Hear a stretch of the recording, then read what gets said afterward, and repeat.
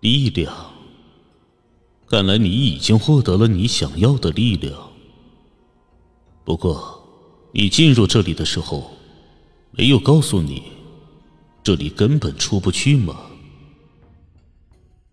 身影喃喃开口，此言一出，萧炎当场石化在了原地。九婴故意坑陷他们，这里除了远古存在之外，无法从此地离开，才是真正关键所在。不知前辈也是进入这里无法出去吗？萧炎拱手抱拳，心中倒是怀疑。九婴说过自己有六具分身进入过此地，和本尊切断了联系，会不会此人就是九婴的分身之一呢？身影摇了摇头，并没有选择回答萧炎的问题。没有回答，便是等于默认。萧炎旋即眼神微凝。便是似笑非笑的说道：“因我来此的名为九婴，不知前辈可否认识？”萧炎试探性的开口。听闻到九婴这个名字的时候，令人身形不受控制的猛然一滞。不出萧炎所料啊，看此人的反应就可断定，他必定就是九婴的分身之一。分身一旦脱离了本尊，自身诞生了灵智之后，那么对于分身来说，本尊就是他最大的威胁，因为本尊一旦重新产生联系，他所产生的灵智就会被瞬间抹除。你在这里，无论修炼到什么层次，最终都会随着时间的流逝而消亡，故一切都是假的。身影自顾自的说道，似乎就未曾听到萧炎所言一般。萧炎冷笑，在他看来，此人不过在强装镇定而已。所以，你便是九婴的分身之一吗？萧炎并未就此罢休，而是抽出了自己身后的八荒玄重尺，目光冷冷的看着此人，身形略微一震。他还在继续摆弄着山峰，若这上千座山峰都是他所为，恐怕他就真的没有欺骗萧炎。此地没有出路。当然，也极有一种可能，他们是因为知晓九婴在外边，离开这里，九婴必定会将他们重新收回分身。与其出去被抹去意志，不如在这里过着惬意且无需在意时间的生活。是他派你来的吗？身影第一次微微侧头，竟是一张清秀的脸庞。温润如玉，模样看起来像是一个书生。所以你是畏惧九婴，才没有从这里离开吗？萧炎手持八荒玄重尺，开口问道：“你若要动手，随时可以杀我。活着和死去没有差别。我想，你也会待在这里后，在度过漫长岁月中，明白我今日所言。”身影喃喃道：“至始至终，在他的身上，萧炎都没有感受到任何一丝杀意。”萧炎眉头微皱，沉凝些许之后，萧炎才将八荒玄重尺负于身后。“你不是九婴的分身？”萧炎感到了疑惑，言语之间，萧炎明白了过来，此人的身份并不简单，也绝非是九婴的分身。并不重要，是与不是没有差别。不过，你毁了我的山峰，这可是要赔的。身影喃喃道。萧炎闻言，尴尬的挠头笑了笑。这些山峰，都是此人用一块一块石头、土壤堆砌出来的，那都是属于他的成果。九婴倒也聪明。之前送了几人进来，老朽顺手就将他们给埋了。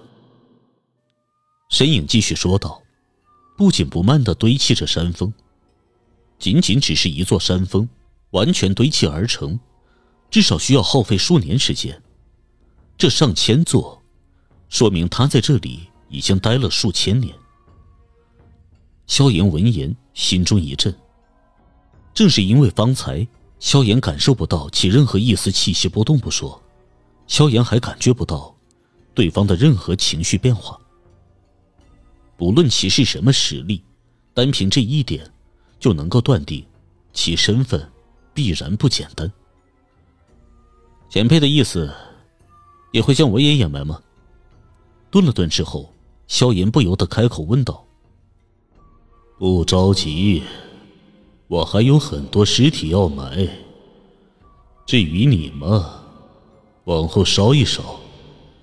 当然，你若想活的话，你之前毁我多少山峰，便还我多少，那便罢了。”身影不紧不慢的说道，这种淡然的语气。令萧炎感觉很是着急。说完，身影一挥手，地上一堆尸体出现在萧炎面前。萧炎看到这些尸体的时候，眼瞳骤然一缩，因为这些尸体萧炎并不陌生，正是方才从山峰中出现、被萧炎所抹杀的。一共毁我十一座山峰。身影说道。萧炎看着这些尸体，又看了一眼身影。目中露出疑惑之色。若非九婴说过，萧炎真的会以为这里就是一片幻境。可既然九婴说过，那么此地就必然不是幻境。但这里出现的一切，对于萧炎来说，都太过玄幻。此刻更是不解身影之意。就在犹豫些许之后，萧炎选择了照做，开始学着身影。将尸体逐个掩埋。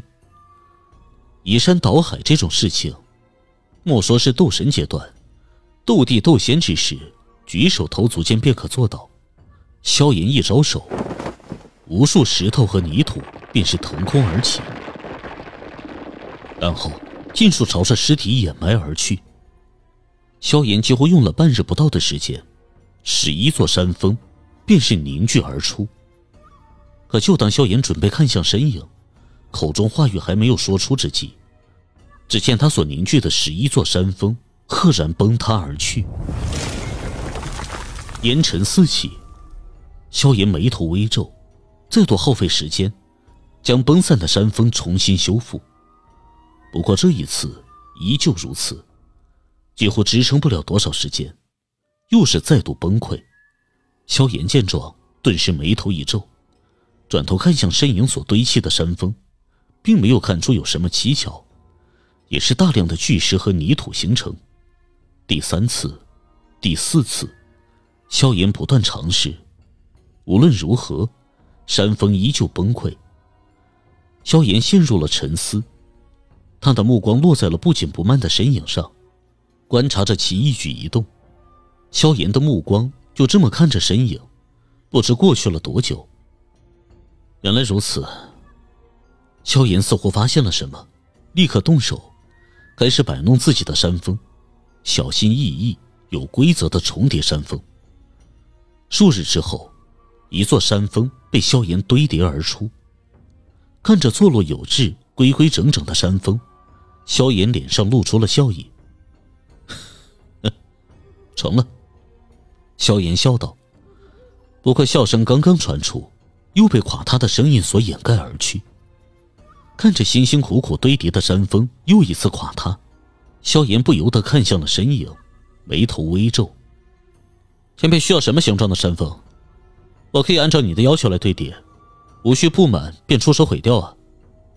萧炎认为，自己的山峰垮塌必定是这身影所为。